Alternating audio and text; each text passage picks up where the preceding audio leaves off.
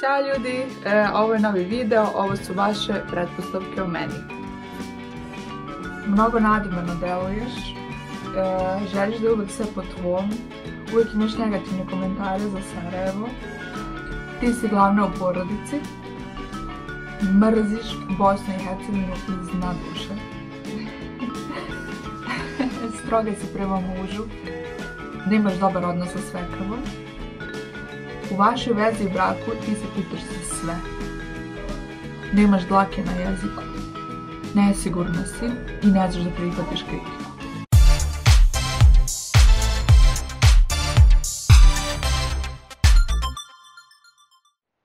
E, prije što krenem da odgovaram na vaše pretpostavke, e, ja ću da vam pokažem atmosferu današnjeg videa. E, peglamo, iza mene je gomila veša. Tu mi je i laptop gdje sam ispisala sve vaše pretpostavke, lakše mi je tako da, ih pročitam pa da onda odgovaram.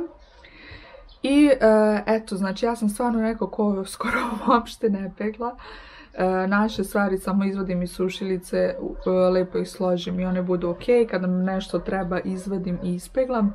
Ali sad sam rešila da malo složim svoj ormar u kojem je haos i hoću da ispeglam neke stvari da to lijepo sve složim, da to lijepo sve izgleda. Uhvatilo me nešto, ne znam nija šta mi je. Imam još nešto malo posteljine za bebu koji su treba da sredim. Tako da, eto, danas ćemo e, da se družimo, peglamo i da, da vidimo vaše pretpostavke o meni. Ono što je meni još zanimljivo bilo sad dok sam popisivala ovaj spisak e, jeste koliko su e, mišljenja kontradiktorna u smislu neko napiše E, kako si pozitivna u trudnoći, ne znam, sve super, sve najbolje, neko napiše užasno si negativna, užasno si, ne znam, e, dosadna i tako dalje. Nevjerovatno je prosto koliko jedna ista osoba, u ovom slučaju ja, e, izaziva kod različitih ljudi toliko nekih različitih mišljenja što nas uvek dovede do istog zaključka, to je da vaše mišljenje je samo vaše mišljenje i ono je na neki način odraz vas samih, odraz vaših nekih uverenja, vaših stavova. Ja sam ovako kakva sam i na Instagramu i na YouTubeu gledaju me isti ljudi, tako da... Eto ga, ništa, prijeći ćemo sada na e, vaše pretpostavke. Bilo je jako smiješnih, bilo je jako zanimljivih, bilo je tačnih, bilo je netačnih, sad ćemo vidjeti. Idemo na prvu pretpostavku. E, kaže, nežna si i voliš da kuvaš, ali da ne isprljaš ništa. nežna, pa ne znam, neko, teško mi da to ja kažem, da procenim sama za sebe. sigurno da kao i svi imam momente kad sam malo više, kad sam malo manje. U suštini nisam neki sad baš jako nežni tip. E, što se tiče kuvanja, stvarno volim da kuvam, nije mi uopšte teško. E, volim da eksperimentišem, volim da nalazim neke nove recepte stalno. Ali da, taj haos u kuhinji me posle užasava. Tako da, eh, kad kuvam, najgore mi padne taj deo kasnije. Uh, kao što možete vidjeti, moja pegla je nikakva, uh, kažem vam zato što ja uopšte ne peglam, tako da mi nikad nije palo na pamet da investiram u neku dobru peglu. Ali ne znam, evo nešto me uhvatilo, možda se to promeni. Vidimo dalje. Lepo si vaspitana i pričaš o svemu na svom blogu. E, što se tiče ovog lepo si vaspitana, to mogu zahvalim roditeljima, naravno. E, smatram da jesam. Smatram da su nas sve i moje tri brata i mene lepo vaspitali. Zaista sam im zahvalna na tome, pogotovo u današnje vreme, kad mislim da to zaista nije lako. E, šta je bio drugi deo? pričaš o svemu na Instagramu, pa trudim se, šta znam, eto, trudim se da teme budu raznovrsne, da ne smaram ljude ono non stop neke iste priče, neke iste teme, ovaj, trudim se da to sve bude raznovrsno. Znam da u posljednje vrijeme je većina tema vezano za tu trudnoću i za sve to i da mnoge možda to ne zanima, ali eto, tako je kako je. To je jednostavno aktualna tema kod mene i mislim da bi bilo neizvaljivo da, da, da, ne, da ne pričam o tome i da izbjegnem tu temu. E, da si nesigurna i ne prihvataš kritiku. E, nesigurna nisam. Mislim da nisam. Možda sam bila nekad kad sam bila malo mlađa, ali nisam, mislim da stvarno nisam nesigurna osoba inače, po prirodi tako nekako. Čak suprotno, nekad sam i previše sigurna u neke stvari. E, pre svega uz sebe. E, a da ne znam da prihvatim kritiku, to priznajem. To e, je sigurno da ima istina u tome. Sigurno da je donekle dobra pretpostavka. trudim se da ispravim to. Svesna sam da je to nešto što bih trebala da menjam.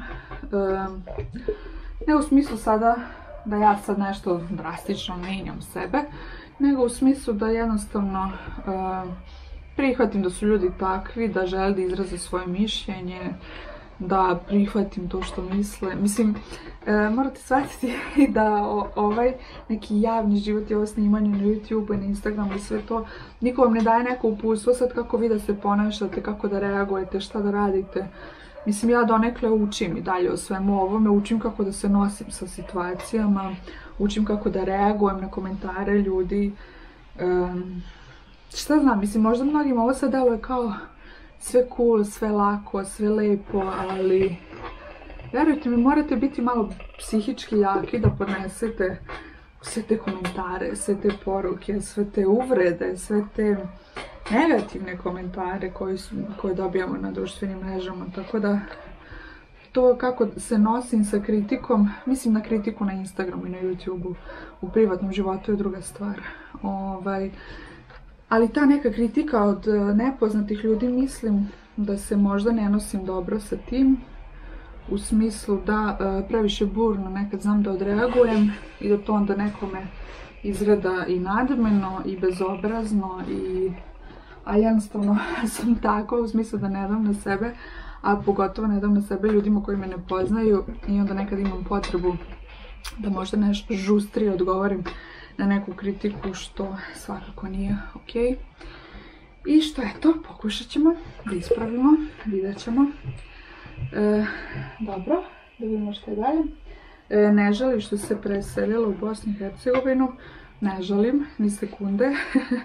ne želim u smislu stvarno e, smo ovdje suprug ja napravili neki svoj e, mir, neku svoju bazu i vazu i ovaj, ok nam je, ali ne mogu da kažem da me neke stvari ne pogađaju, u smislu evo sad kako sam trudna pa kako idem po tim nekim zdravstvenim ustanovama i svemu tome. E, ne mislim ja sad ovdje samo na Bosnu, mislim i na Srbiju i na uopšteno na stanje kod nas tim nekim, da kažem, javnim ustanovama i tim nekim stvarima. Tu, su uvek stvari koje mi iznerviraju, ta neka birokratija kod nas i sve to. Stvari zbog kojih e, se nekad zapitam da li možda treba da odemo negdje drugo, ali u suštini prođe me to mnogo, mnogo brže. ovaj, tako da za sada se ne kajem što smo tu. Pa vidjet ćemo. Ako se ikad pokajem, ja ću otići odavde, tako da ja nisam od onih koja nešto sad tu trpi i radi nešto što ne voli u onog momenta kad ne budem bila zadovoljna svojim životom u Bosni. Nešto će se promijeniti. 95. godište si, nisam. 92. sam godište. Dobro, to je bilo brzo. E, mnogo nadimeno deluješ, pogotovo sada u trudnoći. Šta da vam kažem? to kako deluje to donekle do vas, do vašeg nekog stava, mišljenja. Ne mogu ja tu sad nešto puno promijeniti niti vas nisam nadmena, molim vas, nemojte to da mislite. Rekla sam već na početku videa to šta mislimo o nekome je donekle odraz nas samih, naših nekih uverenja. Ja isto, pričam, isto se ponašam, ljudi gledaju, razni ljudi gledaju pa razne zaključke donose, znači svako donese neki svoj zaključak. Nekome sam nadmena, nekome sam super, nekome sam pozitivna, nekome sam negativna. Šta ja tu da radim? Svako ima naravno pravo da me doživi kako želi. Možda nekome deluje nadmeno šta da radimo? To je sve normalno, valjda. Ali, da li sam nadmena, malo nezahvalno da ja kažem. ja mislim da nisam, ali ovaj, mogu da razumem zašto nekad tako delujem. E, zato što to je ono što sam već spominjala nekad na, tako neku kritiku ili nešto odgovori možda žustrije. E, dosta influencera, youtubera i mojih kolega uopšte ne ulazi u neku raspravu, ne, baš u klasičnu raspravu, nego uopšte ne ulazi u neku neka dublja pitanja, da tako kažem, nego ovaj, ne odgovore na, na, na gomilu poruka uopšte, e, prećute tako gomilu stvari i onda oni ispadaju ok, pozitivni, stalno nešto pozitivno, nikad se ne žele, nikad ništa. Jer jednostavno su izabrali da ne govore o tim nekim stvarima, što je naravno sasvim ok. Ja sam opet drugačija, ja često ne znam da ćutim i ne znam kad uh, trebam da iskuliram i ne znam kad trebam da ostavim telefon i ništa ne odgovorim. Ja uglavnom odgovorim svima na sve. I onda normalno da nekad uh, dođe do toga da ljudi misle da sam nadmena, da, jer nekad jednostavno uh, moj komentar i moj odgovor se njima ne sviđa ni u skladu sa onim što oni misle da ja treba da radim, ni u skladu sa onim kako oni misle da ja treba da živim. Tako da ovaj, mogu da shvatim zašto nekima neka delujem nadmeno. Ali, bože moj, sve je za ljude. Uh, se vidi da si još predivna si. Evo ga sad, znači sasvim suprotno jedno iza drugog. Uh, jedan je bio dakle nadmenost i pogotovo u trudnoći. Drugi je sijaš, vidi se da si, što piše, srećna. Ne znam šta da vam kažem, eto. To je to, sto ljudi, sto čudi. Uh, ja sam fakat srećna, je sad, da li deluje nadmenom, ne znam. Um, odgovorna, precizna, tačna. Mislim da je ovo tačna pretpostavka. Jesam, e, nekad i previše, ne volim da kasnim, ne volim ljude koji kasne, znam da budem gruba prema ljudima koji kasne. Eto, možda iz toga neko izvuče da sam nadmena. e, poštujem svoje vrijeme, poštujem tuđe vrijeme. Da vidimo dalje. Želiš da je sve po tvom. E, imam tu crtu, da, e, lav sam u horoskopu, ko se razume sve mu je jasno. imam tu crtu da želim da je sve po mom, ali nekako vremenom sam shvatila da ne može uvijek sve da bude po mom i vremenom me život naučio da nije sve po mom, tako da učim da se nosim sa tim da nije sve po mom. E, mada bi ja voljela da jeste. Uh, uvijek imaš negativne komentare za Sarajevo. Pa šta, ne znam, evo, evo ba, baš sam, uh, malo prije dok sam pisala razmišljala šta ću, šta ću reći na ovo. Uh, ne znam šta da vam kažem, ima dosta stvari u Sarajevu koje mene nerviraju, da kažem. Ima dosta stvari na koje se ja još uvijek nisam navikla. Uh, žao mi je ako izgleda sada da, da je baš sve tako i da nemam sad neko lepo mišljenje u Sarajevu. E, imam sasvim ok mišljenje. E, da ga baš sad nešto jako ne volim, da mi nešto jako smeta, ja ovdje ne bih živala. Tako da, ovaj, e, ta teorija pada u vodu. E, znači, ne znam kako da mogu kažem. Ne mogu da kažem da ja volim i obožavam Sarajevo. Zaista bih lagala da to kažem. Ne mogu da kažem i da ga mrzim, da mi je ovdje užasno, da mi je grozno, ne. Mogu da kažem eto da ima stvari koje volim, ima stvari koje me smetaju, ima stvari na koje sam se navikla, ima stvari na koje mislim da se nikad neću navići. Ali sve u svemu ja sam stvarno svojim životom u Sarajevu zadovoljna, meni je ovdje ok, mislim da mi je sve bolje i bolje. I mislim da sve više uh, volim, više volim Sarajevo nego što ga ne volim. I više tih stvari koje mi odgovaraju nego što mi ne odgovaraju. Onako polako počnem da, da, da ovaj, uviđam sve pozitivne strane Sarajeva. Tako da, ovaj, stvarno nije da ga ne volim. E, mogu da kažem da u početku sam imala averziju prema Sarajevu. E, Pritom uopšte ne mislim ono sad što je verovatno većini asocijacija na neke e, verske, nacionalne i ostale teme. Ne uopšte u tom smislu, nego u smislu da e, mnogo mi stvari fali ovde, fale mi Fale mi pre svega moji prijatelji, moja porodica, e, fale mi ljudi koje volim, fale mi moje poznate ulice, fale mi mentalitet Novog Sada. Mislim da smo mnogo različiti. Čula sam od dosta ljudi kao ja, Sarajevo i Novi Sad su baš slični. Meni su nebo i zemlja. Živjela sam u oba živim u Sarajevu, ceo život sam živjela u Novom Sadu. Meni su nebo i zemlja meni su mnogo različiti i nije toliko da ja ne volim Sarajevo koliko meni zapravo fali Novi Sad, fali ta neka atmosfera, fali ta neka naša staroženost, ravnica, mentalitet ljudi. E, ovdje mi je sve to malo drugačije, tako da eto, navikavam se još uvijek na sve to, e, tako bih to nazvala, ali Sarajevo i ja smo super kakvi smo bili na početku, tako da Eto, to je moj neki odgovor na to. Čvrsta kao stena, ništa ne prepustaš slučaju, svemu razmišljaš, da, svemu razmišljam, sve analiziram, nekad i previše. E,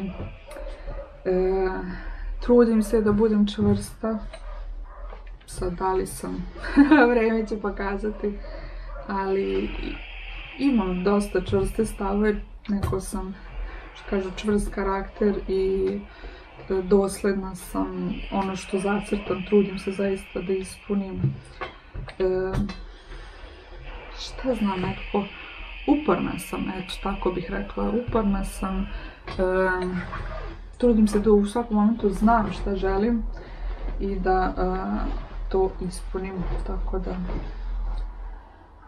Ah, dobro, nemaš dlake na jeziku? Nemam. O, šalu na stranu. Ovaj, ovo je sad bilo jako glupo možda. Dobro. E, imaš dlake na jeziku.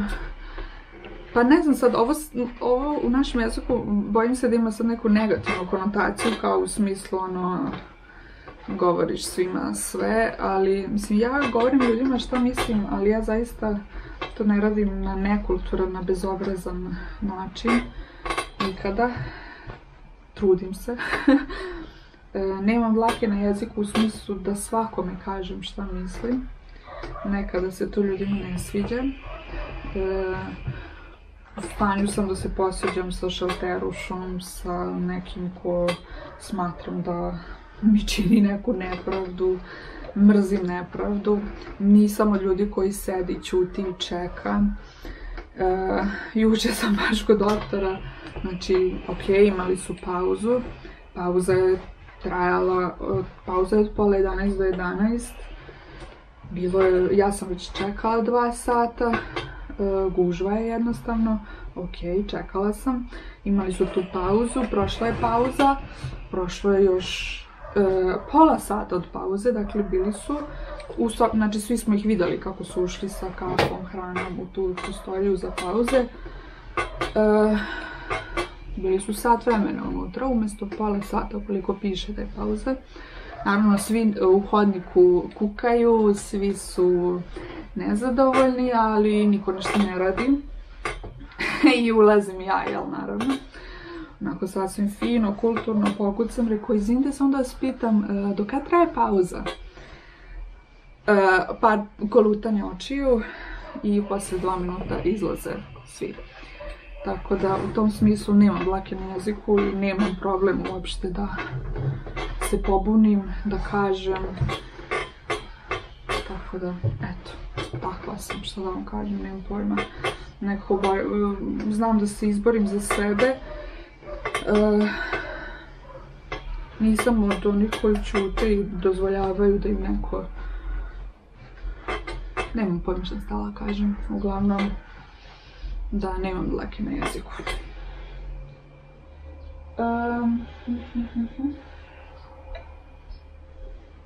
Sad ove što me hvale, prosto sramota i da čitam i da komentarišem, ali kažu inteligentna, bit ćeš super mama, osvojiš sve što zamisliš.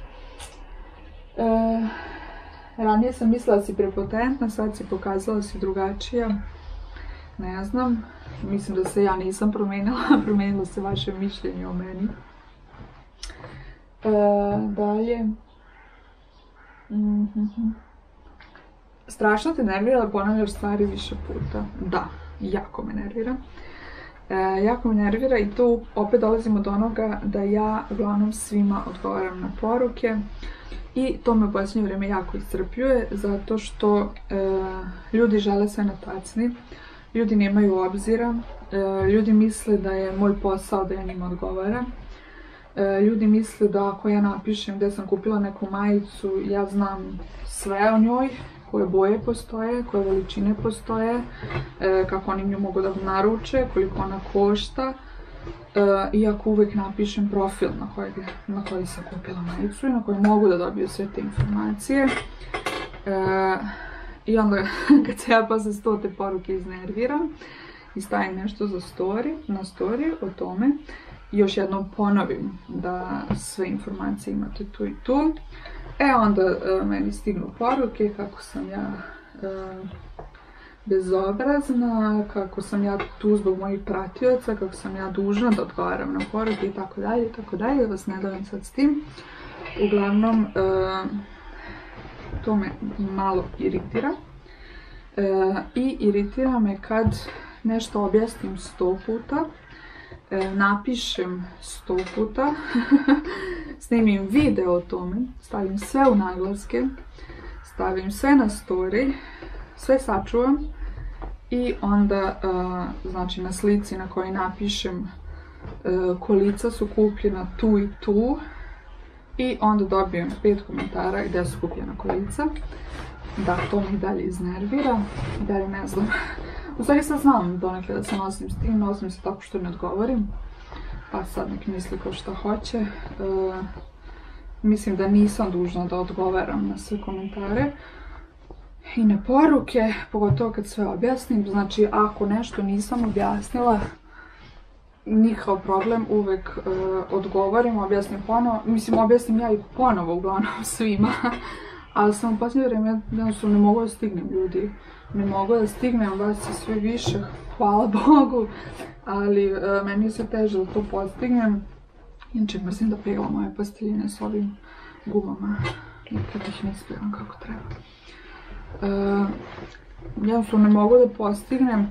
Trebalo bi mi jedno 5 sati dnevno da ja sedim samo da odgovaram na sve. Sigurno 5 sati dnevno, ja stvarno nemam vremena. E, mislim da mnogi blogeri, influenceri i manji i veći od mene uopšte ne odgovaraju na poruke, a kamoli na, na poruke te tipa gdje si kupila ovo, a ja napisala gdje sam kupila. Tako da ovaj, mislim da ću to totalno da smanjim i mislim da je to ok da ljudi moraju da shvate da ja nisam njihov call centar, da ja nisam njima 24 sata na usluzi, ovo je moj hobi, ja prikazujem neki svoj život, neke svoje hobije. Kome se sviđa, sviđa, kome ne. Nađite neki call center pa njih zovite. uh. Nije čudo što ljudi misle, sam prepotentna kada ovako lupam. Dobro, idem dalje. Da, da, da, da, da, da, da. Želiš petro djece? Nemam pojma. Samo nisam došla dotle nekako. Čekajte da ovo prvo radim da vidim kako mi ide pa ćemo vidjeti dalje šta i kako i koliko ćemo djece. Ne znam stvarno. E, ali ja sam, nas je četvoro, tako da ja volim velike porodice i definitivno bih voljela da imam više djece. Koliko? Vidjet ćemo, bit ćete baveštini. E, ti si glavna u porodici. E pa sad ne znam što bih vam rekla. Moram da dodam vode u piglu. Ne brinite mi kisela, obična je voda. Pigla mi je u raspadu i grozna je. Uvijek prospam. Ali dobro. Evo ga. Što ono bilo? Ti si glavna u porodici. Jaj. Bah, bilo je nekoliko sličnih ovih pretpostavki, sve u fazonu e, ti si glavna, ti se odlučuješ, ne znam stvarno otko ljudima to baš, baš nije tako. E, da ja odlučim živjeti u Novom Sadu. eto, eto vam dokaz za prvu. E, ne odlučujem ja zaista, odlučujemo zajedno. Zato ono kad kažu kao nema glave u policiji, sve je demokratija, sve je kompromis, mi se sve dogovaramo. to jeste sve tako, jel to ne dođe do, do toga da se jednostavno razilazite u mišljenjima i onda neko mora da odluči. E, kod nas je stvarno to nekad ja, nekad on. E, zavisi kome je koliko u tom momentu e, važno to.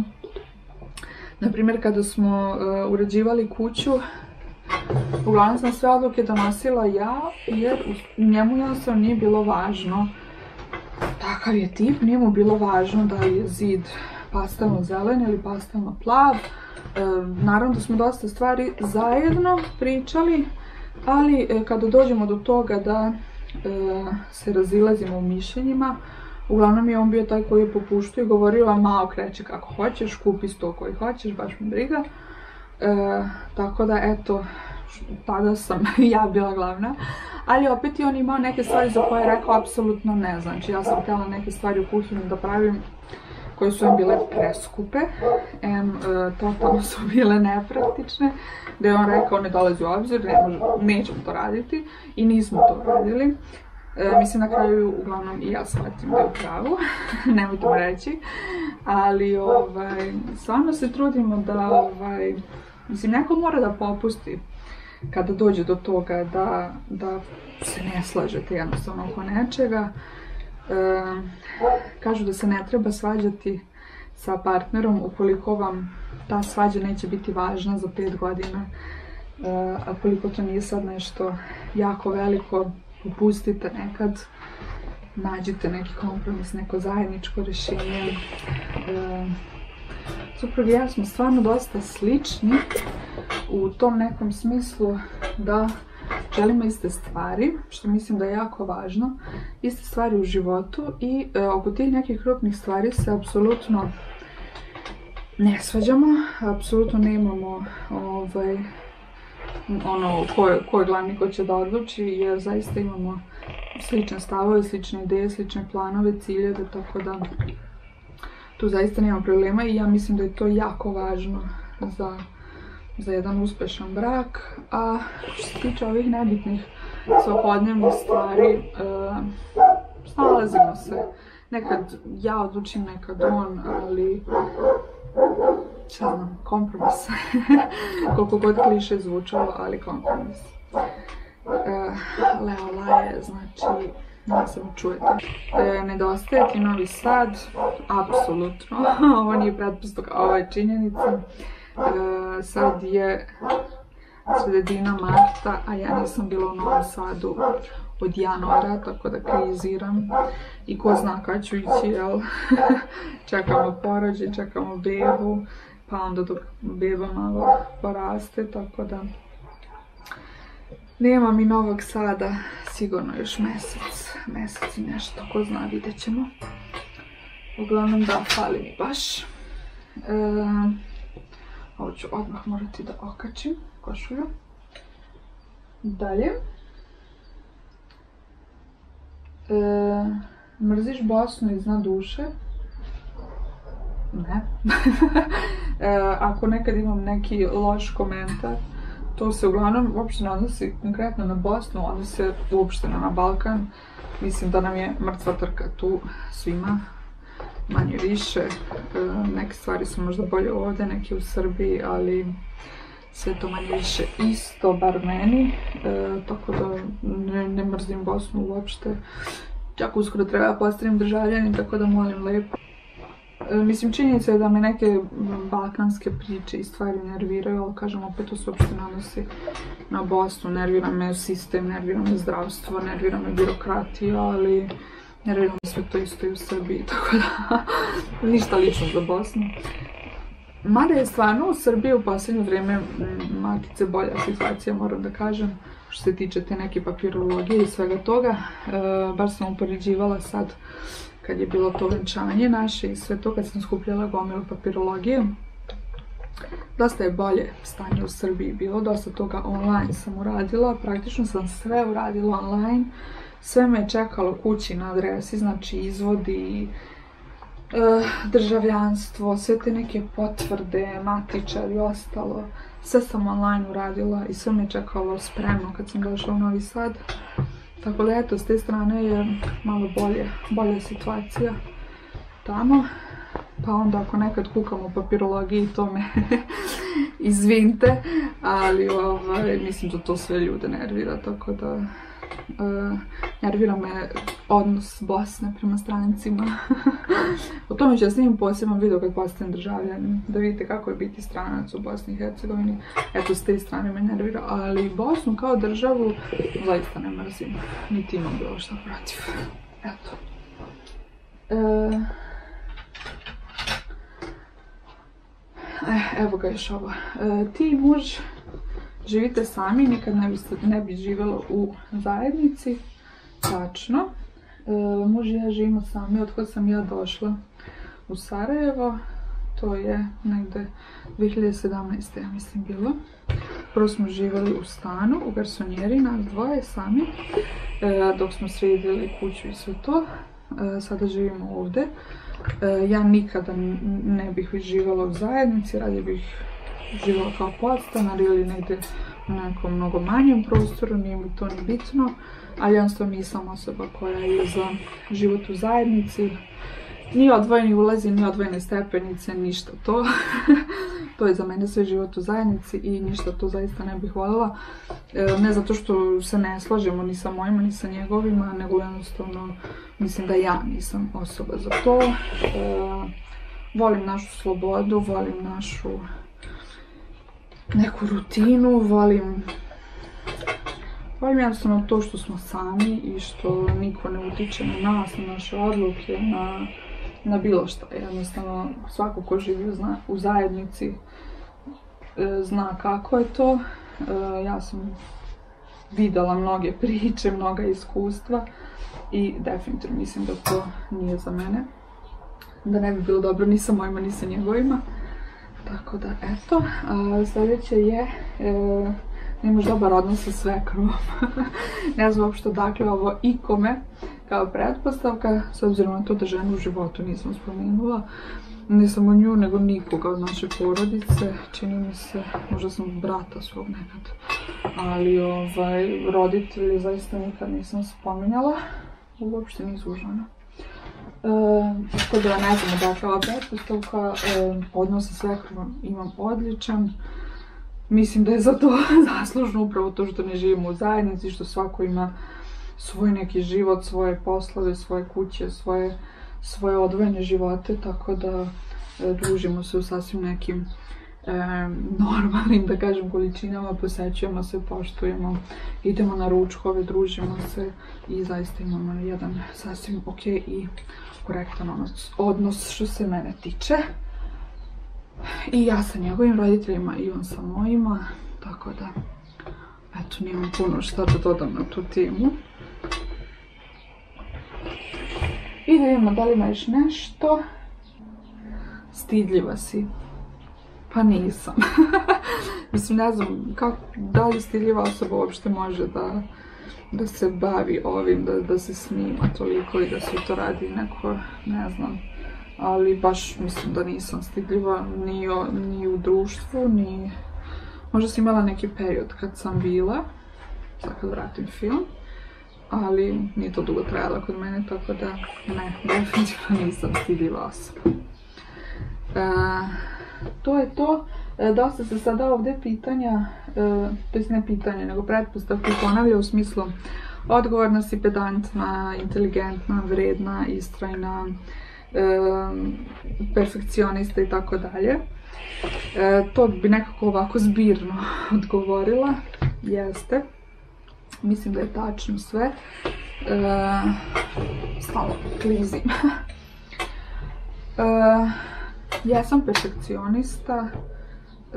Kažem, nekad to i nije dobro. Nekad bih trebalo to i malo i da smanjim, znam. Ali eto šta da radim, tako sam. Nek mi je to najgora mana. Ovaj, mm, ispunim uglavnom stvari koje je zacrtano, zato što već sam govorila da sam jednostavno takva osoba, takav karakter, istrajna sam, ne slušam puno mišljenja drugih, ali ne sad u smislu ja sam najpametnija, ja se znam, ne trebate ništa mi kažete, nego imam jako mali i određen broj ljudi čije mišljenje poštujem, vrednujem i slušam i tekako. E, ali mišljenje drugih ljudi koje, za koje ja jednostavno ne smatram, ne, znam sad kako ovo da kažem, a da me ne shvatite pogrešno, ali kada mi neko da svoje mišljenje, ja uvijek gledam ko je ta osoba i šta je ta osoba uradila u životu. Znači, ako vam mišljenje, lupam sada, o e, avionima i o letenju da stewardesa, e, mislim da je to mišljenje onako validno i vredno i da je ok da poslušate što ona ima da kaže i razmislite o tome. Ali ako vam mišljenje o tome da neko ko nikad nije leteo avionom, po meni to mišljenje nema neku vrednost. Ja to mišljenje na jedno uđe, na drugo izađe. tako da, ovaj, i tako za sve u životu jednostavno gledam ko daje taj savjet, ko stoji iza tog savjeta, da li je ta osoba nešto postigla u životu, da li je to osoba koju se ja možda divim, koju ja poštujem, tako da ovaj, s te strane ne slušam puno savjeti ljudi jer savjeti ljudi su uglavnom negativni, uglavnom su iz njihovog ličnog negativnog iskustva i uglavnom su tu da vas deprimiraju i uh, uglavnom su tu jel da vam kažu kako vi to ne možete, kako je to katastrofa i tako dalje. Tako da na ta mišljenja se apsolutno ne obaziram. E, volim da saslušam mišljenja pametnih ljudi, mišljenja ljudi koji su radili nešto u životu, koji mogu da me inspirišu i zbog kojih ja mogu da postavim bolja osoba. A ove negativne, što bi rekli, energetske vampire ne slušam. Tako da, ovaj, eto, zbog toga možda često neko pomisli kao kako ja nikog ne slušam, ne volim savjete, ne volim pametovanja, ne volim, šta da vam kažem, zaista je tako, ne volim. Ali eto, sad sam pokušala da objasnim zašto je to tako. Tako da, eto. Malo sam mi bilo zanimljivo, malo sam plaćaskali da sam peglala. Možete i vi da peglate i da pustite video, taman eto. E, mislim da je to to, nije bilo sad nekih ono strah. Jao, jeste bila još jedna. E, udala si se zato što si trudna. to je bila još jedna. Ovaj, nisam, ali svi da jesam, mislim, bože moj, ne znam kako to utiče na bilo koga. Ovaj, ni, ali ja to nisam. E, nisam bila trudna na svojoj, na svojoj svadbi, na venčanju. E, trudnota se desila ubrzo posle, ali ne na, na venčanju. Eto ga. E, to je to narode. Od da slažem ove stvari. Znači nikad mi ormar neće biti ovako lep kao sad. Nikad ovoliko ispeglanih stvari neću imati. E, Nadam mi je bilo zanimljivo. I e, eto ga, družimo se u nekom od narednih videa. Budite mi pozdravljeni. Nadam se da sam razbila neke mitove o sebi. Ćao!